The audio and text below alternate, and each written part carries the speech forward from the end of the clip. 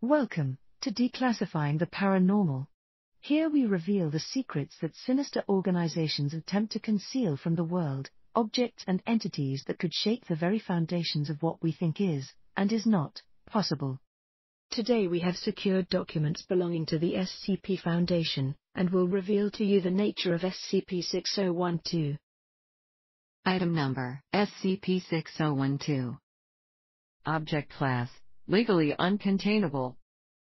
Special containment procedures As no other containment is currently possible, all possible research should be focused on the circumvention of Contract 1991-JAYA 77866133. All personnel with experience covering loopholes in Tartarian contract law are highly encouraged to contact head researcher Berthelot. The body of Jod Yakshal is kept in standard humanoid containment at Site 80. Medical intervention is ongoing. Description SCP-6012 is the slipperiness of all known forms of ice. In accordance with these laws of thaumic conductivity, any magic present in water is caught in the crystalline structure caused by freezing and radiated outwards. Upon being emitted from the ice, the thaumic energy ablates the surface of the frozen solid, turning its topmost layer into a thin and slippery layer of free-floating molecules. Discovery of SCP-6012's effects without prior experience in thaumatology would require in-depth knowledge of fluid dynamics, particle physics, and rheology, the study of how matter flows. With that in mind, efforts to observe and, if necessary, prevent scientific inquiry into the subject have rarely been necessary. It is, however, notable that every attempt to slow or mislead experimentation and research on the topic of ICE's friction coefficient has failed. An investigation as to why is ongoing. Addendum 6012-1 Failed containment attempts the following list consists of consolidated summaries of all containment attempts regarding the research performed at Frederick Tudor Rheological Laboratories, the only relevant institution with sufficient funding to pose a risk of discovering SCP-6012, in Wyeth, Massachusetts. Date Objective Result 2013-09-09 Remote Alteration of Stored Data System did not respond to remote input. 2013-09-12 On-site alteration of stored data computer terminal did not respond to input. Agent was unable to properly reboot its software before extraction. 2013-09-24 On-site alteration of stored data by skilled computer technician agent was able to access the requested dataset. However, the terminal produced a loud tone, attracting civilian attention agent was extracted prematurely. Data was confirmed to remain intact. 2013-10-02 Automated monitoring of all email correspondence. Automated monitor failed to respond and required several system reboots, deleting all recorded information in the process. At this point, computer focused containment methods were halted due to continued failure. Technomantic analysis is pending. 2013-12-19 Sabotage of Machinery A compromised temperature control unit was successfully delivered to the site. It has yet to affect the laboratory's results in any detrimental fashion. 2014-02-25 Contamination of water supply shipment of laboratory-grade distilled water was replaced with commercial mineral water. Shipment was then halted due to weather. 2014-07-29 infiltration agent was presented to the facility as a research candidate based on mostly accurate credentials. During the initial entrance interview, however, said agent did not advance to full employment due to unforeseen anxiety in response to several rudimentary questions.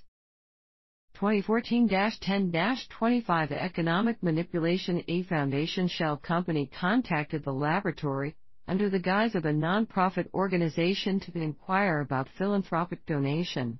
Within one business day, the company's assets were frozen. 2015-01-17 Assassination of key researcher due to Dr. George Penman's history of renal cancer, personnel management experts decided that an ethylene glycol based solution would be the optimal method of removal.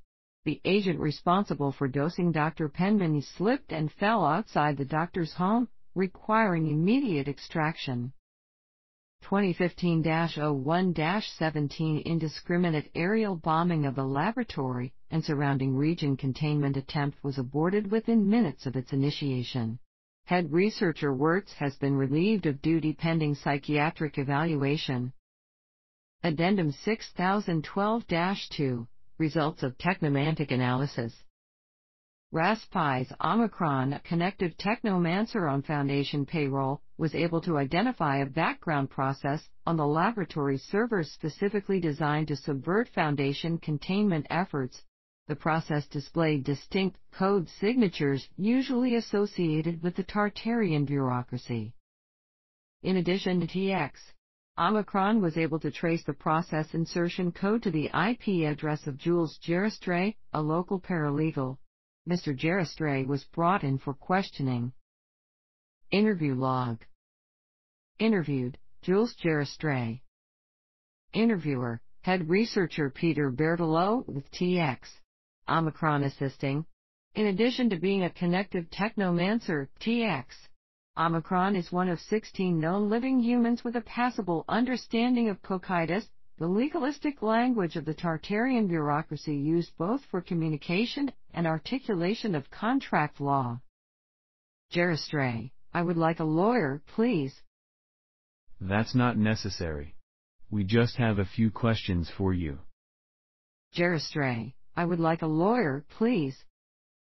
I'm sorry, Mr. Gerestray, I think you misunderstand. Gerestray, I would like a lawyer, please. Would a lawyer be able to explain why we traced malware found on the Tudor Rheological Laboratories server to your IP address? A moment of silence. Mr. Gerestray's expression does not change. Gerestray, I would like a lawyer, please. Mind if I cut in? Be my guest. TX. Omicron proceeds to speak in Tartarian Cocytus for 10 minutes. Mr. Gerestray does not react. What was that? I said we know what you are. Every word uttered in Cocytus must be fully defined to minimize ambiguity. H.R. Berthelot begins to respond, but is interrupted by Mr. Gerestray, who speaks in Cocytus for five minutes without pausing for breath. And what was that? Well, the first part was definitely a request for the presence of something. And the last part referred to an arbiter, I think, or some sort of mediation consultant. So he asked for a lawyer.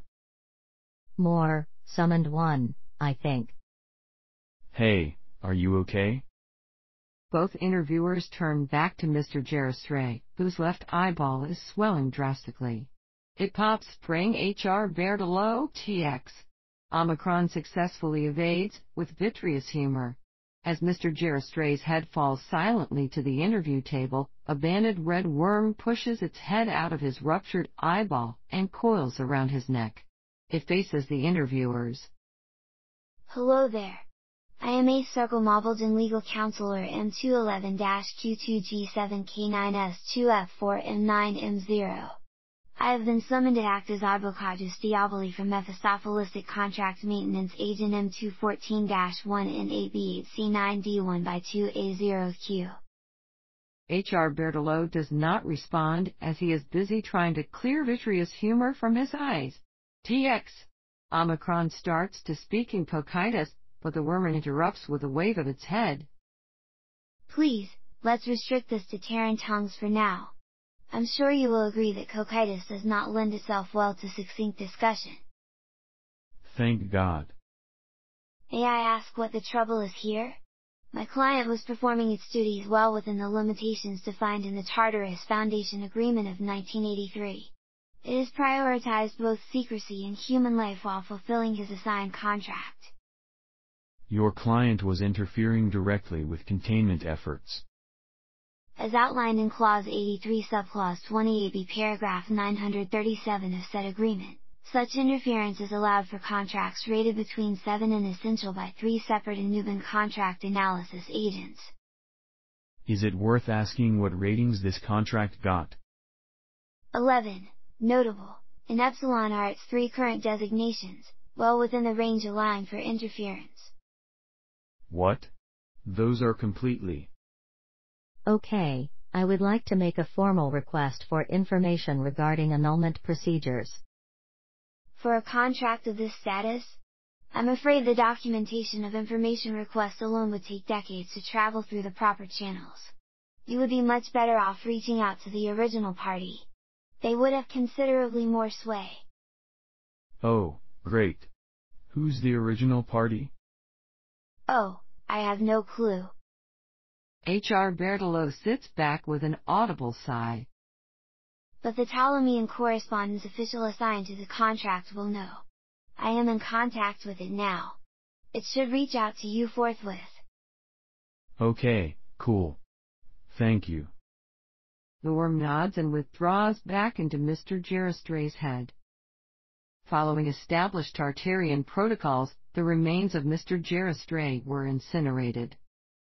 Addendum 6012-3, Correspondence H.R. Berthelot received the following email at 7.06 a.m. the morning after Mr. Geristray was interviewed. 2. Peter Berthelot, peter.berthelot at site80.foundation.int. From Ptolemean Correspondence, request at main.pt alamia.9.tartarus.stix. Subject, requested information re, contract 1991-JAYA 77866133. To whom it may concern.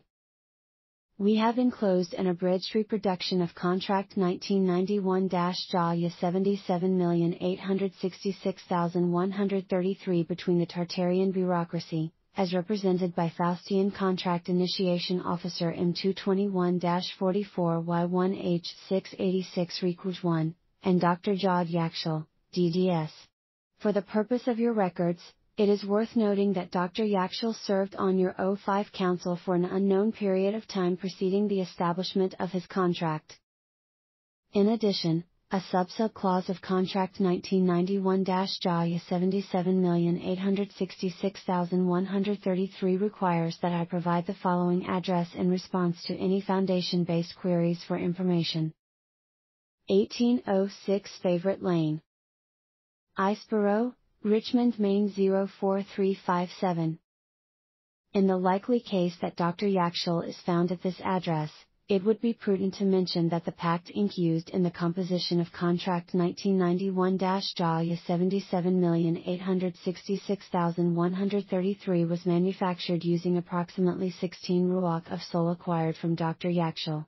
The average adult human contains 18 ruach of soul with a standard deviation of 3 ruach, depending largely on diet and preferred genre of pornography. If he is still alive, his capability for conscious thought will be greatly diminished. We wish you the best of luck in your further inquiries into the matter. Your ally. Ptolemean Correspondence Official N246 0J0091SQ288 at 6. Circle 9 3. The Tartarian Bureaucracy. Attachment 1991-JAYA 77866133.cock, 66.6 petabytes. Using a Cocytus compiler designed by TX. Omicron, the main clausal structure of the file provided was translated as the following. Signing parties. Tartarian Bureaucracy, hereafter known as TB. Dr. Jod Yakshal, DDS, hereafter known as G. TB agrees therein to assume the following responsibilities. Prevent any individuals with knowledge of the thaumaturgic nature of ice from preventing the independent discovery of said nature. Prevent any agents working on behalf of individuals with knowledge of the thaumaturgic nature of ice from preventing the independent discovery of said nature. Upon request for information regarding this document, cooperate fully. Upon request for information regarding this document, provide the specific data designated for this eventuality. G agrees therein to assume the following responsibilities. Provide TB with 16.58 ruach of soul for the purpose of manufacturing pact ink and covering general operating costs. TX Omicron's compiler is currently being modified to provide further detail. Addendum 6012-4, Retrieval. On 2015-08-05, a retrieval team was dispatched to the address provided by the Ptolemaic correspondence official. Dr. Yakshel was sitting on the porch of the property upon approach. The remains of an UTC 1991 camera, a long-term usage recording tool developed by Foundation Technomancers for use on extended explorations. It notably combined thaumaturgic circuitry with a small astatine-based power supply to extend both energy supply and memory by several months. Its production was discontinued after two years, as its unconventional components interacted to produce a high probability of interdimensional squelching when worn by a living creature, and its tripod were found in the bushes at the base of the structure. Dr. Yakshel was transferred to Site 80, where iatromancers, thaumaturges that combine conventional medical procedures with magic-based remedies, are currently attempting to reform his soul using what traces of it remain. The contents of the camera's memory are being transferred to a less volatile format. Addendum 6012-5, Video logged. The following is the full transcript of the video recovered from the UTC 1991 camera recovered along with Dr. Yakshel. Observational log transcript. Begin transcript. Approximately 38 seconds of static. The image resolves to show Dr. Yakshel, a broad, dark-skinned older man with a short mustache and black-rimmed glasses. A pair of small Tartarian entities, later identified as Lamian resource management demons, stand on his shoulders. Their fingers glow a dull red as they methodically pull glowing strands of soul from Dr. Yakshel's ears, coiling them around their waists. I would like to apologize in advance if my, my train of thought goes a bit awry. What remains of my soul is flapping against the inside of my skull. It makes thinking, it makes thinking more taxing than usual. This is, this is a confession, of sorts. An articulation of motive. As I doubt I am in any state to, to present my case to you, this will have to suffice. A few moments of silence. Dr. Yakshel looks past the camera. I came here out of an unshakable sense of nostalgia, I'm afraid. My first, first real job was here, on the Kennebec. 1829, when I had my own name, and a less persisting form. You can thank my degree and current position for the latter. We would cut up the ice and float it down to storage. And from there on it would go, fighting back heat across the country. We'd feel good about that. About, about keeping the world in comfort. And then there was the flood. And the fire. And the war. And then the refrigerator, and we were, unnecessary. Another moment of silence. I should also apologize, I think, for forcing you to track me down through the Tartarian bureaucracy. There were probably other methods of achieving this result. I chose this one out of pity. As he speaks, he absent-mindedly raises a hand to his left shoulder and taps the demon standing there on the back. It hisses and attempts to bite his finger. In the decade before they rebranded as the bureaucracy, Hell signed a total of 78 soul contracts. They saw their own impending obsolescence and fled into a, a self-made labyrinth of paperwork and meetings and endless phone tag.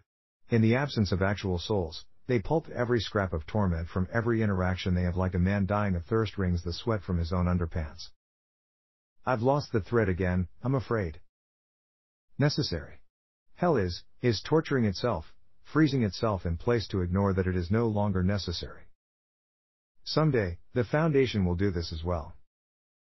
On the day we signed our accord with the princes of hell that had seated their swords for legal pads, I felt, I felt as though we were meeting the specters of our future. Desperate creatures in doomed roles. I saw the council as chancellors of a frozen people. Containers of every, every deviation from the status quo. After all, we cannot become obsolete if time does not move. But it must flow. Dr. Yakshel pauses for a minute.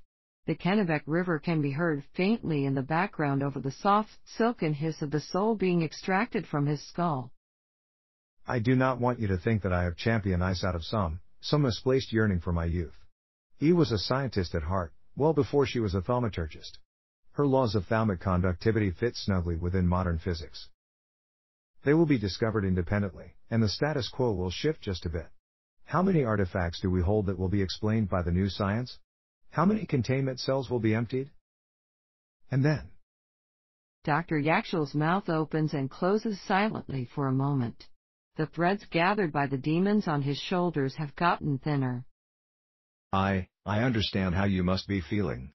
There is little more terrifying to us than a natural ending. It is human nature. We are selfish. We are vain. We must be important to someone. But this, this opening I'm creating for mankind, to let them come out from behind the veil into the light, it will create a better world.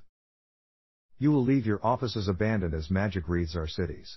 They will protect themselves from the things we would contain. The two demons hop down from Dr. Yakshul's shoulders and walk out of frame. Strands of soul can still be seen extending from his ears, drifting gently in the breeze. I only, I regret, I only wish I could be there. To see it. He smiles, and his eyes drift shut. Several weeks pass. Besides the change in light and the movement of small animals, nothing happens. Dr. Yakshul remains motionless. After three weeks, a snowstorm produces winds strong enough to knock the camera over. The frame now captures Dr. Yakshul's chest and face from below, with the lower half of his body obscured. Time passes, Small creatures occasionally take shelter under Dr. Yakshul. His mouth has fallen open. Notably, scavengers have not yet attempted to consume his exposed flesh. Approximately five months after the beginning of the video, a pair of small white and gray birds construct a nest in Dr. Yakshul's open mouth. The birds have been positively identified as black-capped chickadees, which usually nest in tree cavities. This deviation from natural behavior has been reported to the Center for Anomalous Ornithology. Silver strands are visible in the structure of the nest, implying that Dr. Yakshul's remaining soul was used in its construction. Two days later, the female bird has laid an unknown quantity of eggs. The male brings her food often. The eggs hatch after 13 days of incubation. There are six hatchlings, both parents perch on Dr. Yakshul's teeth to feed their children. A readout on the recording warns that the camera is low on memory. Sixteen days after hatching, one of the young birds climbs to the edge of Dr. Yakshul's mouth. As it hops out of its nest, the camera ceases recording due to the lack of available memory. Addendum 6012-5 Relevant Correspondence the following email has been logged due to its relevant content as required by RISA statute ID 9807-E. 2. Director Amalagi Director at Site 80.foundation.int. From Peter Berthelot, peter.berthelot at Site 80.foundation.int. Subject Update on Project Permafrost. Let me be clear. Project Permafrost is fucked. To start, the legal team can't find anything even resembling a loophole in the contract. They're keeping at it, but at their current rate of translation, they'll be done about 10,000 years from now. It doesn't help that we don't exactly have any expert advice on the subject anymore. The medical team is doing a little better, but I can't say that Yakshul will be able to help us anytime soon. Whatever patchwork soul they've got running the poor guy right now doesn't seem to allow for any sort of sapience. All we're getting out of him is birdsong. All in all, I'd say our biggest issue right now is morale. Even since before the thaumaturges all quit, it seemed like we were throwing ourselves against a wall that isn't moving. Like we were pinwheeling our legs out on a frozen lake, going nowhere fast. If Omicron's countdown website is to be believed, based on the quantity and quality of data being produced, Tudor Labs will figure it all out within the next two years. The thaumaturgy forums are calling it the next ice age. I can hear the immortal bastard singing from my office. Please let me know if you have any questions. Until the thaw. HR Berthelot. Thank you for tuning in. We hope that you enjoyed this broadcast. If you did, please subscribe, like, and share it around. If you have any particular case files you'd like us to cover in future broadcasts, leave a comment below and we'll get around to it shortly. Tune in again tomorrow for more revelations.